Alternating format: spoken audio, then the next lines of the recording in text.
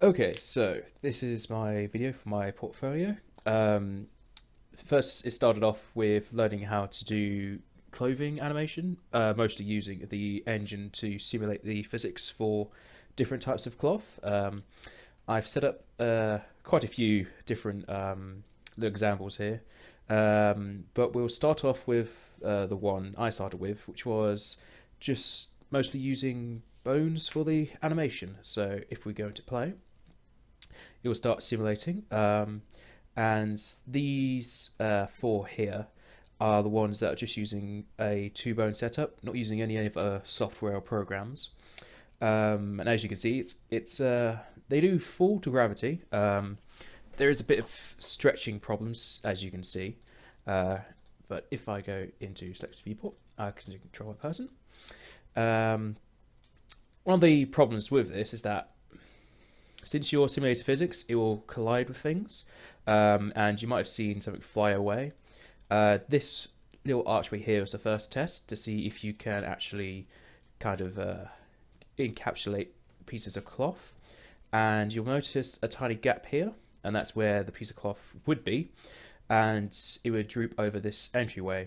Um, sadly, that has a bit of a problem there, so I've made these other archways that actually have the cloth as a piece of the mesh. I'll show you the 3ds file in a minute. Uh, this one, as you can see, it only goes down about halfway and you can collide with it. You can move the whole thing and the uh, cloth reacts not in a very good way. Um, over here I've set up something else. I've changed the uh, model a bit, changed some of the skinning and it now uh, goes in front of the archway and these little boxes would be hidden, but I'm just showing them just to show how it works. Uh, the cloth goes down and um, they'll stop at these little, I would say, handles. And if you're playing the game, you just walk through and the cloth would move. So you can see me running into the cloth and it moves. Um, I've made a bigger one over here, but depending on the size and how you make these, they uh, tend to stretch and move weirdly with uh, the physics engine. So you can still walk through it, and the cloth will move out your way. Uh, it deforms quite a lot as you can see, but most of the time it um, moves out your way in a very smooth fashion. Um, so you can do this as sort of like a, uh, a sort of doorway or what I've done here where a cloth is over a, a uh, archway and you just need to move through it. Um, so I'll come out of the engine and I'll go to the file. So here, um, We've got the cloth, uh, which is named cloth. It's just got a normal skin. Um, it's all done for one bone, which is here. And then I have the stand, which is also to another bone. And uh, you just basically export these out. With, so that's uh, the way you'd normally um, go about doing it. If you go onto one of these, you can see I've got simulate physics on them. Uh, so you can move into them and they'll react to you. This is one of the pieces of cloth, and as you can see, it's kind of stretched out. Um, that would normally droop over, but it's not working. Next, I'll move on to a program. Uh, this is Apex clothing uh, using physics from 3ds. So again, I'll go to play, and we'll work our way from the back to the front. So I've got a wind um, actor in the scene, so the wind is affecting the pieces of cloth. This one here, um, it's just showing uh, this um, mesh I've got here over here, but with apex clothing.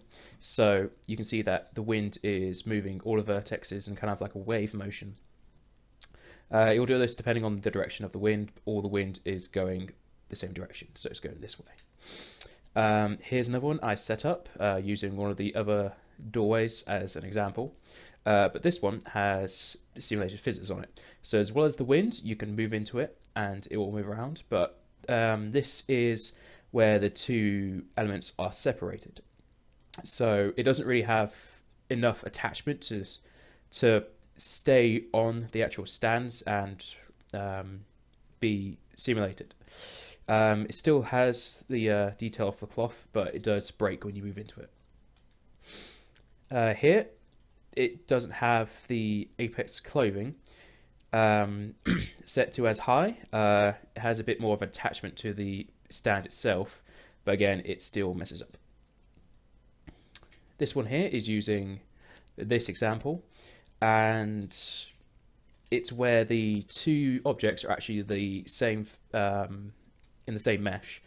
Uh, but when you bring over the Apex clothing um, data, it does seem to break them apart, even if they are the same object. Now, if we uh, go over to this one, uh, this is where it's simulating physics again. Uh, I've took the example over the hair and made them the same object, but as well as putting a uh, physics, um, simulated physics on it, so when you move into it, it breaks it. Um, it still attaches to the stand a lot better than the one over there, though it does still break apart. So using Apex clothing on an object and having it move about is a very tricky thing to do. I still haven't uh, figured out the best way to do it yet. Um, but aside from interacting with the character you're playing as, uh, they the clothing also can react with the environment. Um, this cloth has a rather high um, value on it, so it's kind of going through this box right here, but you can also see that it's flowing around the box. As you can see, the uh, piece of cloth is moving upwards as it tries to go around the box. And the clothing would still uh, react to the wind. As you can see, it's uh, have that ripple effect, uh, but some of it's raised up because of the box. Here I've got the um, the cloth just on its own. Um, there's no stand or anything. Um, so this just shows you could just have the cloth somewhere you could put it on the wall straight all the way down, just have cloth all around the walls. And then over here, which could be the uh, best example, is a uh, tablecloth. Um, it's basically just cloths like these, except the cloth is a separate object, and I basically attach it to this uh, box, and the cloth will move around it, similar to the way that this one is done. Uh, but this one's uh, actually made within 3ds, planted into Unreal Engine, and then the wind effects will affect it. Um, so if I can get a better angle, uh, you can see that the cloth is being moved by the wind, but it is also draped around this little box. So it has a nice uh, smooth effect as if you would have a indoor uh, building with a door open or window open where the wind's coming in. Uh, so I'll come out of Unreal and go back to 3ds. So here I've got the uh, tablecloth, would be the best way to show it off and this is the apex clothing modifier. Um, you can see these lines, that's the value I've put on it for the max distance they'll move up to. and the table. Uh, the table has many vertices on the top. This is to help the cloth uh, stick to it as when you have uh, two or four vertices on top, it doesn't like to um, attach very well. It seems to move through it.